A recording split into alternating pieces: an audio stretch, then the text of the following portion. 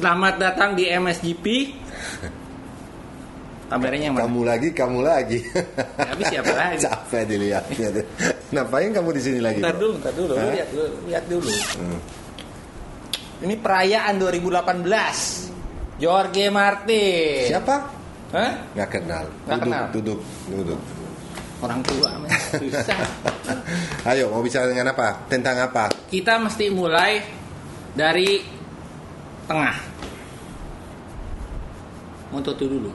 Oh. Kenapa? Karena sponsor utama kita kan tim Moto2. Oh, ya udah, ayo, mau tutup. Mau Jadi, kita Ya, jujur boleh. banget ya. Nggak apa-apa, ada masalah. Kita bicara tentang Sam Lowe's. Kalau saya bilang ini, kalau Sam Lowe's ini kan dari tahun lalu. Hmm. Udah kelihatan bahwa, bahwa, bahwa, eh, kelihatan banget bahwa dia mau jadi calon juara dunia. Iya. Ya. Eh, kebetulan tahun lalu akhir season dia cedera, Iya. prestasi yang luar biasa di Portimao meskipun cedera dia bisa prestasi tapi nggak bisa jadi juara dunia. Dari tahun lalu dia udah bahaya sekali. Kenapa? Karena dia dapat konsistensi. Hmm. Sam Lowe's terkenal sekali dengan sebelumnya. Pebalap yang sangat kencang punya speed tapi konsistensinya nggak ada. Jadi dalam satu tahun untuk jadi juara dunia kamu perlu jadi konsisten. Artinya kalau nggak bisa menang, nggak tahu naik podium, tetap selesai race. Bukan seperti dia zaman dulu. Zaman dulu dia, dia apalagi di MotoGP ya. Iya. Dia itu selalu eh, overconfidence dan sering banget crash. Mhm. Tapi sekarang dia udah belajar. Sekarang dia udah luar biasa. Jangan lupa, di tahun 2010 dia pernah jadi juara dunia super sport. Artinya apa? Ini pembalap kencang dan dia di- tahu gimana caranya bisa jadi juara dunia. Makanya saya bilang tahun ini dia hampir, hampir unbeatable. Ya, dia akan ada race di mana mungkin performa nggak bisa sesempurna eh, kemarin, tapi dia udah belajar bahwa kalau nggak bisa naik podium, yang penting dapat poin. Dia udah belajar dari tahun lalu bahwa kalau mau jadi ju- ju- eh, juara dunia itu harus eh, sabar. Karena kalau kurang sabar, kalau selalu mau menang itu nggak mungkin. Ya race kedua kemarin dia juara itu paling susah bro. Karena kalau race kalau race pertama Dominasi total. dominasi total dia luar biasa karena yang lainnya juga cuman sekali tes satu minggu sebelumnya di Doha punya data tapi belum sempurna. Hmm. Yang di race kedua kemarin datanya udah komplit dan sempurna karena udah tes, udah weekend race pertama dan weekend race kedua semua pemain udah dapat uh, data-data yang bagus dong. Makanya kelihatan banget bahwa kemarin itu Sam Lowe's menanya nggak segampang race pertama dan Remy Gardner udah Gardner udah dekat banget, udah mau udah dari awal bikin dia punya jalan ke checker flag yang lebih sus- sulit ya.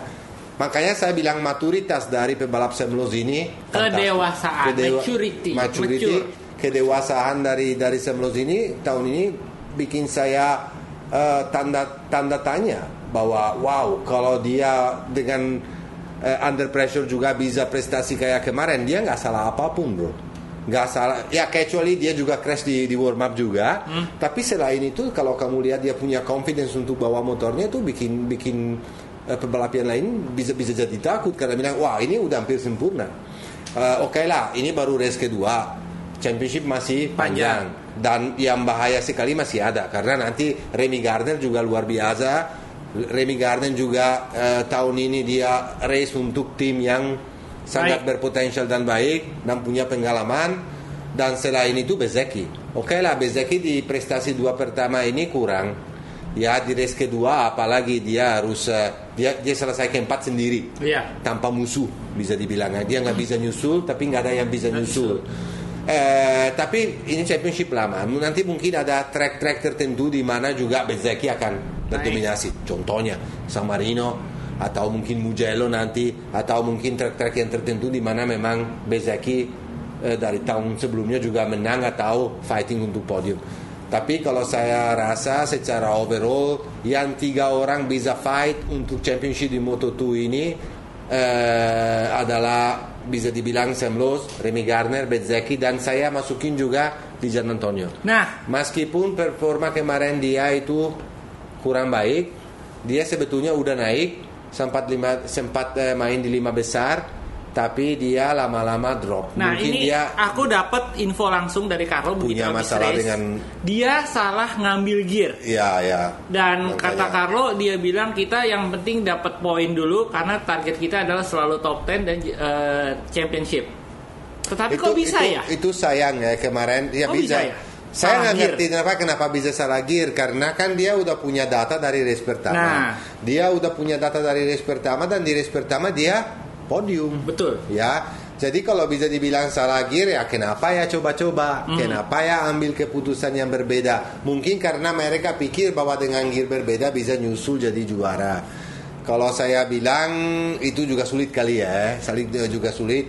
Kalau kemarin juga udah udah udah lima besar kemarin udah bagus menurut saya karena waktu start Sam Lowe, Garner, eh, eh, Raul Fernandez. sama sama Bezeki udah udah Depan. bikin gap. Iya. Ya, jadinya kan kalau dia udah di urutan 5 sebetulnya bisa eh, bisa atur dan bisa dapat poin yang baik. Karena kita tahu sendiri juga sama kayak Bezeki di Gian Antonio ada track tertentu di mana dia akan berdominasi dan dia punya tim, punya bekas eh, backup untuk berdominasi.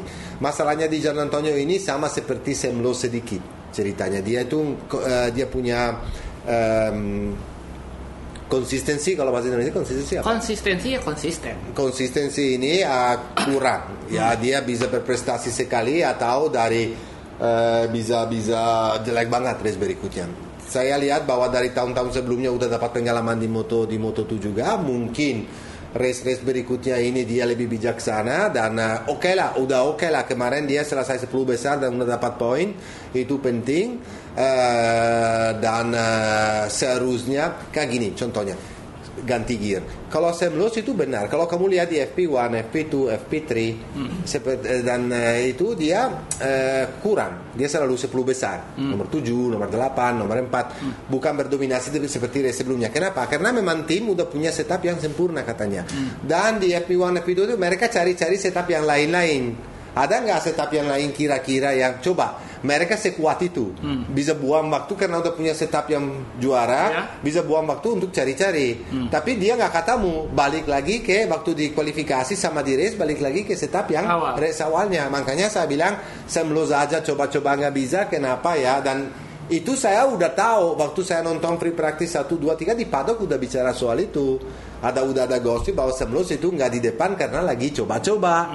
Nah saya bilang kalau di Jalan Antonio mungkin coba-coba seharusnya coba-coba Terlalu nekat mungkin. ya mungkin terlalu nekat dan terlalu terlalu bold ya untuk ambil keputusan dan tapi ya oke lah yang penting jangan sampai anggus poinnya pokoknya selalu harus dapat Jadi intinya kalau pembalap itu eh, yang penting kita konsisten sampai akhir musim karena tahun lalu pun Ya. konsistensi itu kunci. dan satu lagi mungkin saya mau tambahin soal uh, Raul Fernandez lagi Ya. karena dia berprestasi sekali juga kemarin dia rookie jangan salah ini tahun ini ada apa dengan rookie aku nggak ngerti Nah, ya, ngomong-ngomong- ada apa dengan rookie ngomong-ngomong rookie. ada apa dengan rookie nggak tahu Ada yang rookie bilang- kita bicara Moto3 Moto2 dan MotoGP rookie itu luar biasa Nah, tahun ini sangat sangat bahaya semua Moto3 itu ada yang start dari pit, rookie dan juara. Ya kita bicara soal itu. Kita, Kita perlu bicara hari Moto3. ini ya. Kenapa? Kita bicara soal Pedro Alco, eh, sorry Pedro Acosta. Ya. Ya, Pedro Acosta ini adalah pembalap dari Red Bull eh, eh, Rookie. apa, rookie Red Bull ya, Red Red Bull Rookies Cup. Dia tahun pertama 2019 eh, di Red Bull di Red Bull ini dia runner up runner up Hmm. udah luar biasa tahun pertama langsung runner up yang tahun kedua dia tahun lalu 2020 dia juara Red Bull Rookies Cup dan dia smash completely semua lawannya Iya. nggak ada lawannya tahun ini dia langsung naik kan Moto3. seharusnya kan dia di eh, harusnya seharusnya dia eh, sama De Pasquier Iya. jadi eh, teammate-nya De Pasquier di eh, apa namanya Cipe C- C- CIP. Iya, tapi nggak jadi. Kenapa? Karena eh, Aki Ayo dia. waktu waktu ambil keputusan untuk mengambil Raul Fernandez langsung naik di Moto2 punya seat kosong dan dia maksa banget supaya Pedro Acosta bisa join dengan eh, dengan eh, dengan tim dia. Dengan dengan dan eh, itu keputusan yang bagus Pas. banget. Di race pertama aja saya lihat bahwa dia udah bisa selesai di belakang Juan Masia. Juan Masia ini punya punya pengalaman luar biasa. Udah empat season ya di di moto di moto? 3. tahun lalu aja udah fighting untuk championship dengan dengan dengan Leopard. Leopard team dan eh, Pedro Acosta ini ambil keputusan yang sangat eh, luar biasa kemarin. Dia itu bukan pebalap yang lainnya. Aduh kita dapat penalti harus start dari dari pit gimana caranya gimana caranya dia enggak. Dia bikin oke lah. Adalah situasi adalah ini kita harus start dengan, dari pit. Aku percaya diri, aku tahu punya speed. Ini dia bilang loh. Dan saya yakin apa bisa nyusul di eh, grup depannya nanti. Jangan salah kalau orang dapat penalti yang seperti kemarin bukan cuma dia juga ada Venati dan eh, Sergio Garcia dan yang lain-lain. Kalau part dari eh, start dari pit lane harus tunggu sampai Semuanya apa pergi dulu. semuanya udah eh, jalan Start, dulu. ya. Jadi kan bisa bisa hilang gampang yang 10 second. Dan grup grup ini grup ini yang start dari pit lane memang dari waktu mereka lewat dari dari eh, finish line ada hampir lebih dari 10 second. Dan saya mikir kemarin waktu saya nonton nggak mungkin lah 95% aku bilang ya karena never say never. Aku bilang 95% mereka nggak bisa nyusul, tapi mereka pintar sekali kemarin. Kenapa? Mereka kerjasama kerjasama dengan luar biasa. Dan eh, aku tahu bahwa eh, yang eh, pebalap yang eh, paling eh, pe- berpengalaman antara mereka itu Romano Venati bicara sama yang lain. Kita jangan jangan sampai kita fight fight. Kita jadi satu grup dan kita bersama kerja keras supaya bisa nyusul ke grup berikutnya. Itu sangat sesuatu sangat pintar. Karena kalau dari awal mereka keluar dari pit dan langsung fight dan satu sama yang lain, itu pasti buang waktu lagi. Jadi mereka nggak lakukan itu. Mereka berfokus bersama Mencari Pe- slipstream. ya, slipstream. dan Pedro Acosta eh, sangat pintar kemarin. Karena dia dengan kecepatan dengan speed yang luar biasa dia tunggu momen sampai nyusul ke grup yang depan dan dimakan semua sampai jadi juara. Ini pertama kali jadi history bro. Di Moto3 ini sesuatu yang kayak begini. Saya bilang ini eh, pertama kali aja race pertama yang Qatar waktu dia urutan dua di belakang eh, Joan Masia aku kaget. Tapi bilang oke lah. Oke. mungkin faktor keuntungan Ya. untungan dari rookie tapi kalau kemarin aku Itu bukan. aku nggak bisa aku nggak bisa bilang keuntungan lagi karena fenomenal sekali bisa start dari dari dari pit dan jadi juara. Yang bikin saya eh, kaget itu adalah kedewasaan kedewasaan dari anak yang umur 16 tahun bro. Cuma 16 tahun bisa mendewasa banget mengerti momentum dan kapan dan punya speed untuk nyusul dan jadi juara. Sementara kemarin Joan Masia sama Gabriel Rodrigo biasa. Biasa.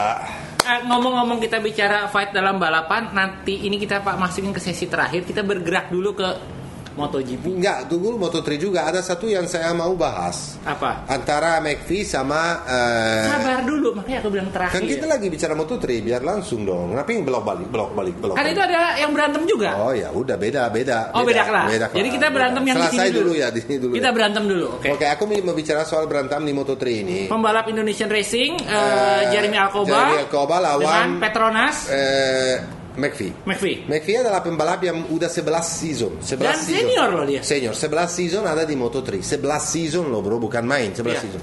Dan itu eh, pembalap pembalap ini adalah pembalap yang dewasa dan pinter sekali dan dan dia nggak pernah punya rekor atau background yang fight fight fight. Iya. Oke. Tapi kemarin aku ulang berulang lihat apa yang terjadi. Iya. Sebetulnya itu race accident.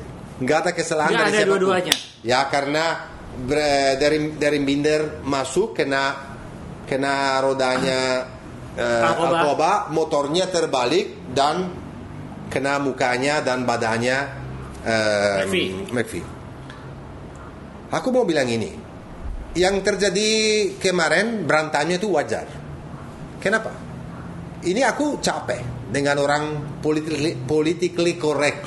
Politically correct itu artinya semacam cancel culture di mana lu memberikan sebuah fakta tetapi lu tidak bisa menerima fakta itu. Jadi makanya kadang-kadang ada beberapa hal Ya yang kita sedikit bahas. hipokrit juga. Ya. Hipokrasi. Ya, kenapa? Karena ini namanya balap. Mereka lagi kasih 110%. Adrenalinnya udah Tinggi sekali. mungkin di rumah kalau kalau kalau kalau media, banyak kan media yang kayak begitu ya. Media yang yang menjudge eh, apa menjudge bahasa Indonesia? menghakimi menghakimi no no no no no aku aku aku pernah balap jangan ex- excuse me sorry Ya, ya, saya juga balap, cuma di belakang. ya, ya. Nah. nah gini eh, bareng. enggak yang yang media Hmm? yang nggak pernah balap tapi mereka terasa punya hak untuk menilai Iya. gombal. Aku capek dengan itu, gombal. Sorry to say that. Kenapa? Karena kalau lagi balap, kita kan eh, eh, hidup kita lagi risiko, ya. Betul. Mau dulu. Tapi kita yang pilih itu, kita nggak peduli. Pebalap itu yang balap nggak nggak mikir bisa mati, tidak. Balap itu ambil keputusan balap karena cinta dengan motor, karena cinta dengan olahraganya, karena dia mau balap.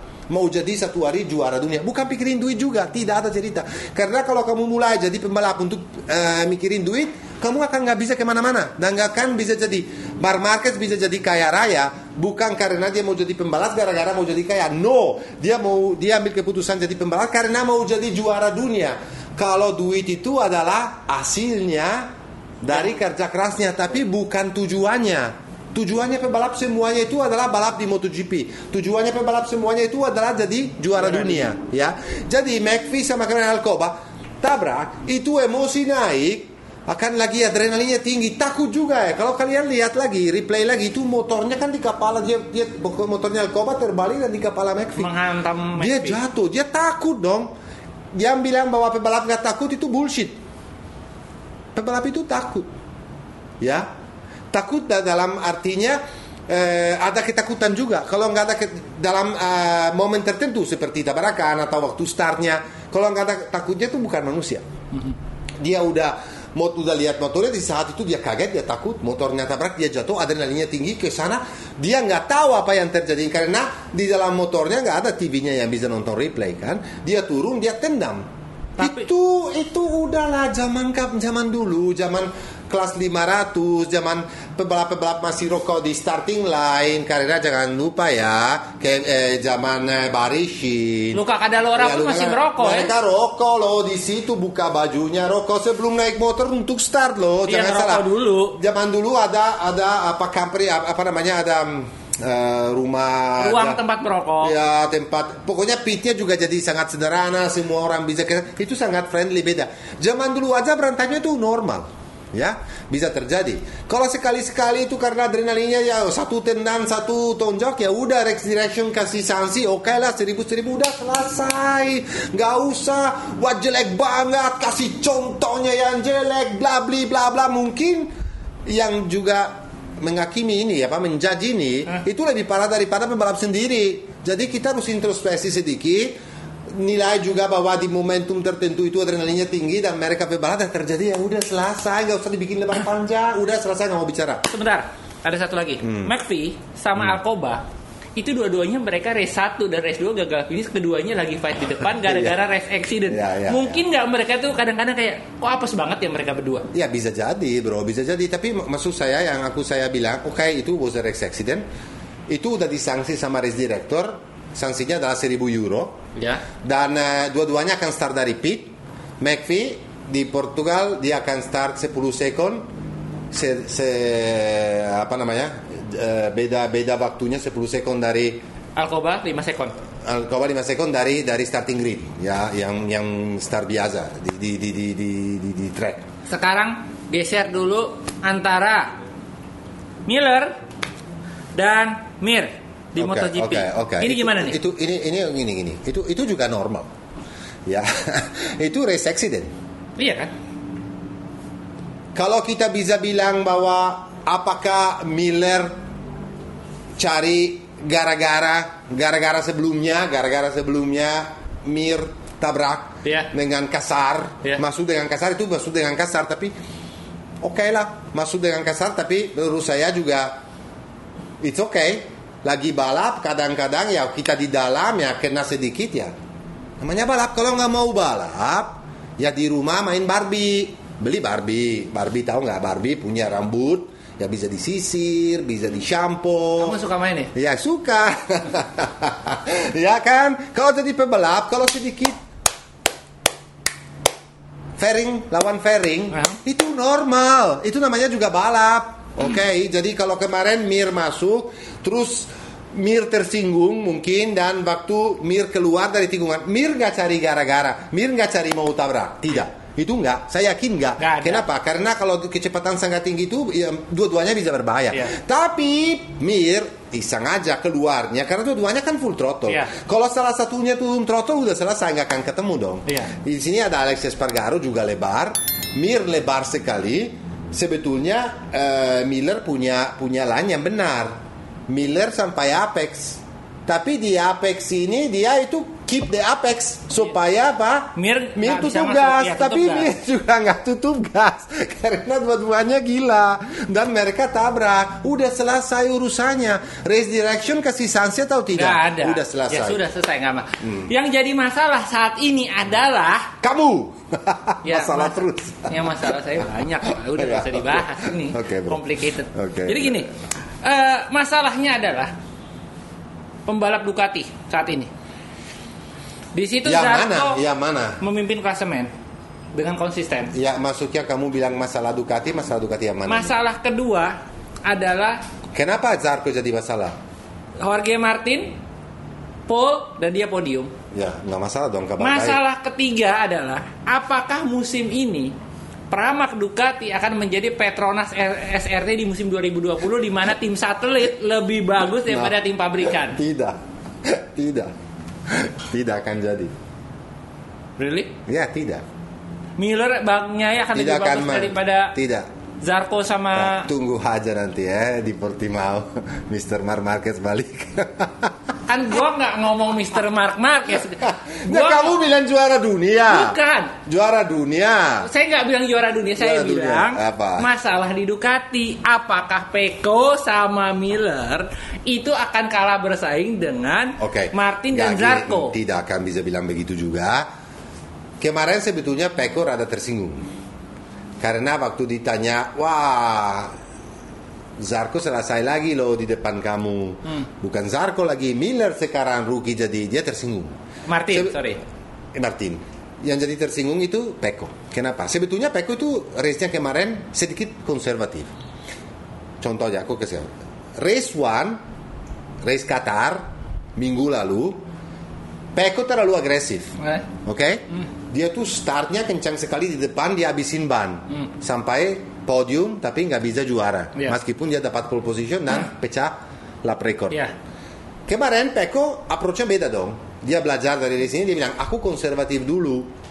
Di belakang tunggu dulu, main dulu, save tire dulu. Terakhir baru saya attack. Dan dia lakukan itu cuman waktu dia ambil keputusan untuk naik itu menurut saya udah too late. Udah late. Udah kelamaan. Udah kelamaan tunggunya. Dan waktu naik itu dia kan salah juga karena di belakang slipstreamnya Zarko. Kalau kalau di slipstreamnya apalagi di di, di braking, Hmm. kadang-kadang suka disedot karena kecepatan tinggi sekali karena anginnya nggak ada sama sekali Akan lah di seperti braking. vakum. Ya di vakum. Waktu dia vakum kan dia harus lebar. Hmm. Di situ dia lebar dan dia turun dia ke posisi 6 dan udah bye bye karena udah tinggal berapa lap. Oke. Jadi dia misjudge. Kemarin kesalahan Peko itu dia punya speed untuk menang. Jangan salah punya speed untuk menang, tapi dia ambil keputusan untuk attack terlat dibanding race sebelumnya. Kalau Quartararo paling sempurna. Nah, Quartararo Quartararo ambil keputusan paling sempurna. kembali ke podium satu. Iya. Quartararo kan pilihannya yang satu nih naik podium juara atau nggak finish musim lalu. Iya, dia itu ambil keputusan yang sempurna. Dia udah punya, dia tahu punya pace. Dia sekarang pinter tahun race ini dia udah belajar dari race pertama. Waktu di race pertama dia itu pakai cuma satu mapping. Dia dia kemarin di, di press conference cerita, aku di race pertama kayak rookie, kesalahan rookie. Pa- pakai cuma satu mapping yang mapping yang sangat agresif yang ngabisin saya punya ban. Kali ini aku main-main terus dengan mapping dan di belakang terus sampai saya lihat bahwa itu adalah waktunya yang pas ban saya sangat sempurna aku baru masukin mapping yang agresif baru aku membawa motor dengan agresif karena jangan salah untuk yang kemarin lakukan eh, yang yang dilakukan sama Quartararo kemarin sesuatu yang sangat fantastis bro. Kenapa? Karena dia untuk overtake Ducati itu kerjaan Luar itu biasa, PR, ba- PR banget itu kerjaan susah. Kenapa? Dia harus kamu lihat sendiri dia late braking di tempat tertentu di mana di di di di di, di, di- di sektor 2 3 Ya, ya. Di mana dia kadang-kadang roda belakang sampai motornya nggak stabil tapi dia overtake dan dia bikin gap supaya di lurusnya nggak bisa dinyusul sama Ducati lagi Jadi dia kemarin sangat berani ambil keputusan yang pas dan sangat bijaksana untuk memanage mapping motornya. Yang sebetulnya bagus juga Vinyales, tapi tapi karena di belakang bikin kesalahan juga sama Zarco dia lebar, dia hilang posisi sama Rin, sorry dia Ya. lebar lewat posisi, ya dia uh, kehilangan momentum. Tapi saya rasa prestasi Yamaha dua-duanya Yamaha resmi factory Yamaha prestasi dua-duanya pembalap dua weekend ini luar biasa dua-duanya dapat Nah, sekarang saya mau ngebahas jagoan saya. Hmm. Yang selalu saya yakini akan menjadi jagoan di balapan dan dia itu tidak finish tidak terpaut jauh dari legenda MotoGP. Lorenzo Savadori dan dia sempat fight sama siapa bro walaupun akhirnya tetap kalah dengan legenda MotoGP. What happened dengan 46 ini? Ada apa ini Oke, sekarang? aku kasih tahu ini ini Ini ada apa ini? Ada apa? Ini sesuatu yang sangat menarik Iya. dibicarakan. Menurut saya yang terjadi dengan Valentino Rossi adalah begini, bro. Dia pengalamannya luar biasa. Nah, Dan pengalaman yang luar biasa ini bikin dia sulit. hmm. Kenapa? Karena kalau pengalaman kamu luar biasa dan kamu raja MotoGP dari sekian puluh 20 tahun, tahu semua tentang MotoGP, kalau kamu membawa motor cari kesempurnaan. Jadi terlalu banyak referensi data yang ada di kepala dia. Terlalu banyak kesempurnaan. Kalau pebalap baru, rookie atau yang baru-baru, mereka kalau motornya kurang enak sedikit, nggak peduli bro. Karena dia nggak tahu yang Gas mana yang saja. enak, nggak tahu yang mana ya, yang enak. menurut saya analisa saya adalah Rossi bukan jelek, Rossi bukan tiba-tiba jadi pelan, tapi gara-gara, gara-gara kebanyakan data dan dia jadi eh, terlalu eh, apa namanya bisa dibilang terlalu fasi, fasi apa bahasa Indonesia? Terlalu Lancar, terlalu bukan Oh, terlalu bukan lancar dong, terlalu fasi. seperti OCD, terlalu ya, mencari OCD, kesempurnaan. mencari kesempurnaan, dia nggak nggak akan keluar dari masalah ini, dari masalah spinning. Mungkin benar apa namanya eh, Yamaha ini spinning, gara-gara sekarang yang mendevelop Yamaha itu bukan dia lagi, tapi apa Viñales. namanya Vinyales. Vinyales punya apa namanya Riding riding style berbeda sekali daripada Rossi. Quartararo pembalap baru juga kalau ada masalah sedikit dia oke lah antam aja. Rossi ini nggak suka. Rossi ini harus ganti berubah riding style tapi di umur 42 eh, berubah lagi riding style Susah banget. susah bro jadi susah jadi sebetulnya kemarin dia nggak jelek bro maksudnya jelek banget tapi nggak jelek dalam artinya dari nomor dari yang paling depan yang paling belakang berapa sekon cuma Iya dekat sekali. dekat sekali jadi mungkin di race yang yang sebelumnya tahun lalu dengan jeda waktunya segitu cuma 8 atau 9 sekon itu bisa dia selesai lima besar Rossi itu akan jelek, disebut jelek kalau dia finish di belakang Savadori. Ya, artinya apa bro ini level Ya. level pebalap semua level motor Sudah semua. sangat rapat. sangat rapat dan sangat tinggi. Dan untuk dia mengkompet dengan level itu, itu sangat sulit karena dia selalu cari ke, apa kesempurnaan. Dan ya mungkin dia menghilang dari dia itu adalah waktu kamu muda, kamu berani, kamu nggak pikir banyak, Hmm. Punya masalah apa pun, Bodo gas amat. aja bodo amat. Yang itu yang saya yang saya bisa nilai ya dari pengalaman saya dan dan dan saya yang bisa saya lihat kekurangan Rossi adalah ini. Gimana? Tapi tunggu untuk menjadi ini karena kita masih ada banyak banyak apa namanya race lagi dan eh, kita lihat kalau di Eropa mungkin dia masih bisa balik lagi atau di race yang di mana dia suka dia bisa balik seperti dulu. Tunggu dulu. Kita ngomong dulu ada giveaway. Hmm. Oh iya, ada pemenang quiz. Itu ada di sini nih, di sini. Ya. Di- Ini nggak ada sebenarnya, cuman nanti diedit. No, aku kira ada. Nggak ada, nggak ada. Kita udah Ada mulai halu. kurcaci di situ gitu. Nah, ini ada jaket. Dari ST Motorworks. Nah, ini. Nah, ini dia. Ini ada di daerah ST Motor Works dekat rumah saya no ini bro. Oh iya, nggak disentuh. Di sini juga ada motor. Hmm. Ini motor dummy nggak jalan ya. Gitu ada di sini kalau kita lihat. Maksudnya Nah, ini lu bakal dapetin vest dari ST Motorworks. Bagus banget ini buat riding bisa. Motor Works. ST itu Satar singkatnya. Ya Works pakai S Ya. Ya. Syaratnya satu. Pertama, lu mesti follow ST Motorworks IG-nya. Kedua, follow IG MSGP. Tiga, Mateo, Satar, dan Federal Oil. Jadi ada tetap 5 yang mesti Tetap. untuk dapetin. Pertanyaannya adalah kira-kira finish keberapa Danilo Petrucci? Kok Danilo Petrucci tiba-tiba sih? Danilo Petrucci di Portugal, Portugal. Portimao. Ya. Portimao. Oke. Oke? Oke. Dah. Cocok loh Cocok. KTM di situ jangan KTM, salah loh. ya, ya. makanya. Tahun lalu menang loh. Iya. Ya, dengan dengan siapa? Eh, dokter gigi. Iya. Dokter Oliveira, Oliveira. Ya. Ciao, ciao. Ciao, dadah. Ciao, ciao.